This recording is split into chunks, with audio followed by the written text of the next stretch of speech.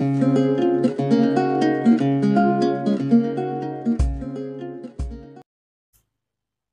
this video, I am going to show separation of variables using this method. We will form the PDE यानी कि partial differential equation हम create करेंगे.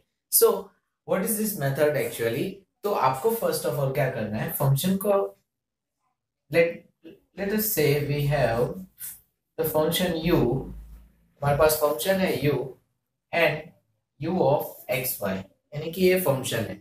अब इस function के अंदर आपके पास दो वेरिएबल्स कंसीडर करने हैं, x of x and y of y that means यहाँ पे और दो फ़ंक्शन है, x, और वो रिस्पेक्ट टू x है and y with respect to y this is what you have to consider I will explain with solving also so this is and now आपको find करना है del u by del x. Okay del u by del x यानी कि इस function को with respect to x हम derive करते हैं. Therefore with respect to x है सो एक्स की जगह पे आएगा x dash and y as it is same way del u by del y it will be x y dash. And obviously यहाँ पे एक्स डेस क्या है? X dash is nothing but del of x by del of x okay so this is what I got आपको समझ में आ गया? Sorry it is not del of x it is small x differentiation of x with respect to small x and same way y dash is del of y upon del y. So, these are the four terms. ये four terms को याद रखना है, and we will solve the example using this function. सारे examples में आपको ये function consider कर लेना है एंड आपको सॉल्व करना है। So how we will solve let us see that now we will solve the example using variable separable method and इस एग्जांपल में आप देख सकते हो यहाँ पे इक्वेशन दिया हुआ है पार्शियल डिफरेंशियल और उसमें से हमें फॉर्म करना है इक्वेशन को। So first you to do is यहाँ पे आपको देखना है कि कौन से वेरिएबल्स है जिसका हम फ़ंक्शन क्रिएट कर सकते हैं। सो so, यहाँ पे del of x and del of t are the two functions तो हमारा फ़ंक्शन लाइक इस तरह से होगा u of x and t equals to x of x into T of T सो इस फंक्शन से अब हम फाइंड करेंगे del of u by del of x and del of u by del of t.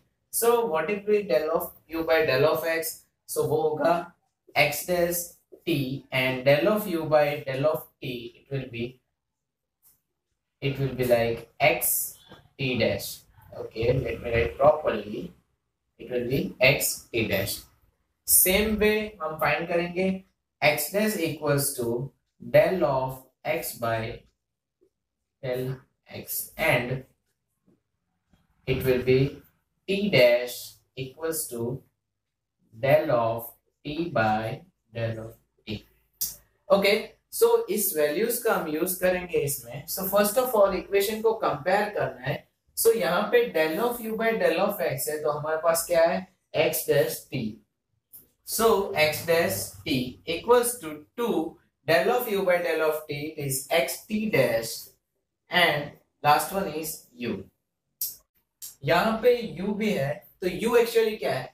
What is u here x and t का हम यूज़ करके हम x of x and t of t कर रहे हैं। तो u की जगह पे हम क्या पुट अप कर सकते हैं? Therefore u is x into t. We can say like this so u की जगह पे हम पुट अप करेंगे x and t. So now यहाँ पे हमें इक्वेशन मिल गया है. So let us solve the equation equation में आपको फ़र्स्ट यहाँ पे x कॉमन निकालना है. So common terms two t dash plus t and x dash t so now x के x के साथ x को हम लेके आएँगे एंड इन दोनों को कंपेयर करेंगे. So we will get x dash upon x, यानी कि x को इस साइड एंड यहाँ पे two t dash plus t upon t so as you can see हमारे पास एक इक्वेशन मिला है। सो so, अब हमें क्या करना है? नेक्स्ट स्टेप इज़ ये दोनों को like what is variable separable हम इसको इक्वल रख रहे हैं। दैट मींस इसका एक पर्टिकुलर आंसर आएगा कांस्टेंट आंसर आएगा और वो आंसर दोनों इक्वल होगा। So let us consider that answer is k so हम कंसीडर करते हैं आंसर इज़ के सो हम लिख सकते हैं x dash by x equals to k. Okay? And same way 2t dash plus t upon t equals to k.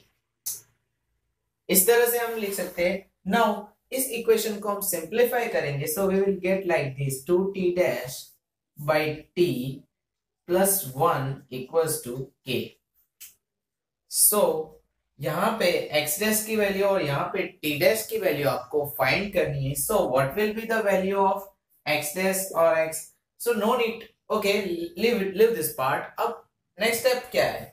यहाँ पे equation form करना है. लाइक like यहाँ पे जैसे एक्स डेस अपॉन एक्स का फॉर्म किया है, यहाँ पे मैं टी डैश अपॉन टी का फॉर्म करूँगा.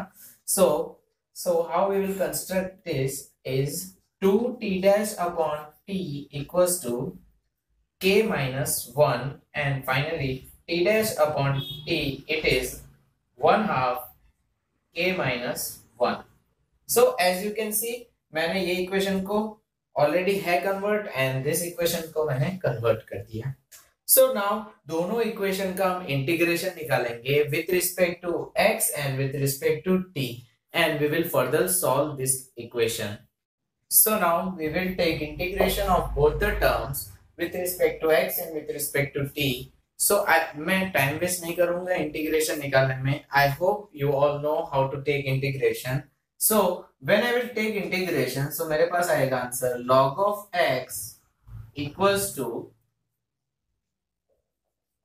k plus log of c1. Okay, see here that log of okay k का हो जाएगा kx okay and log of c1. So see here c1 यानी constant लेना है that I will name here c1 and यहाँ पे हम दे देंगे c2.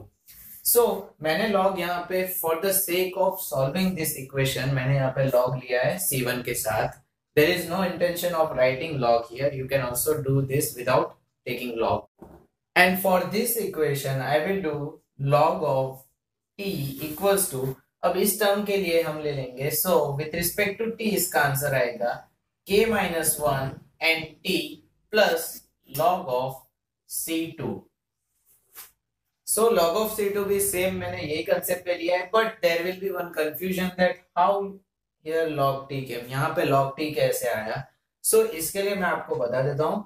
So what what is here t dash and t. So इसको हम सिंप्लीफाई करते हैं। What is t dash actually I have written yes so t dash is del of t by del of t.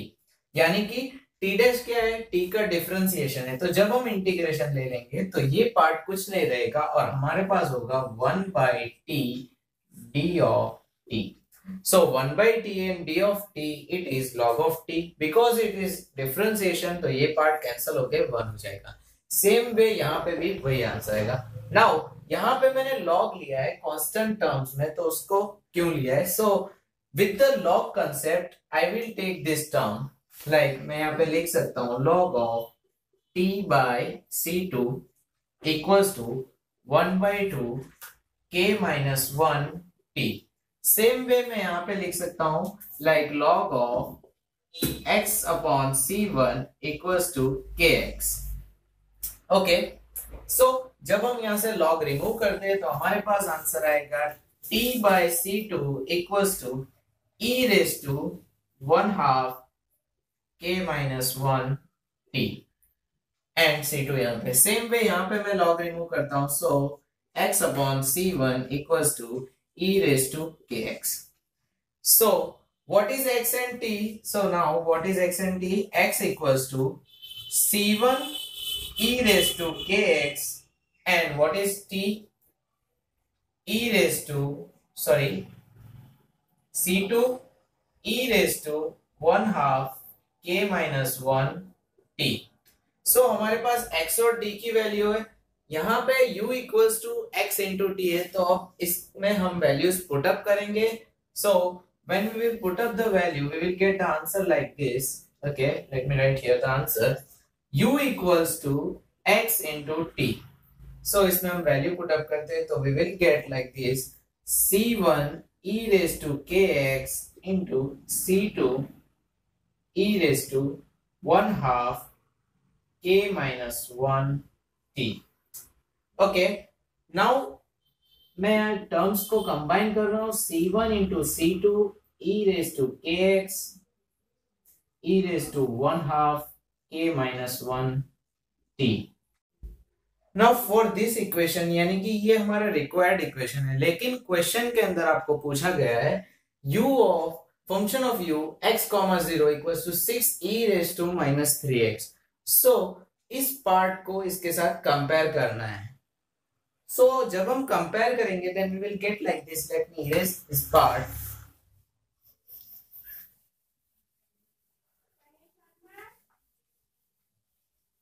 okay so हम compare करते हैं इस part को then we will get like this six E raise to minus three X equals to C one into C two and E raise to K X E raise to one half K minus one okay I will erase the full part K minus one T okay. तो इस पे से आप देख सकते हो कि यहाँ पे C1 एंड C2 इसके साथ कंबाइन हो रहे हैं। So we can write C1 into C2 equals to 6 and as यहाँ पे हमें फाइंड करना है u of x and 0 so simply हम t की जगह पे, यानी कि x की जगह पे x है और t की जगह पे ज़ीरो है। Therefore, यहाँ पे हम ज़ीरो पुट करेंगे। So what we will get is like जब हम यहाँ पे टी की वैल्यू ज़ीरो पुट करते हैं so C one into C two and E raise to K X because T zero हो जाएगा then whole part will be one so C one into C two E raise to K X and C one into C two it is six and E raise to K X we can compare like this six E raise to minus three X so लेकिन general equation यानी कि हमारा जो main answer है that you can write like this u of x and t.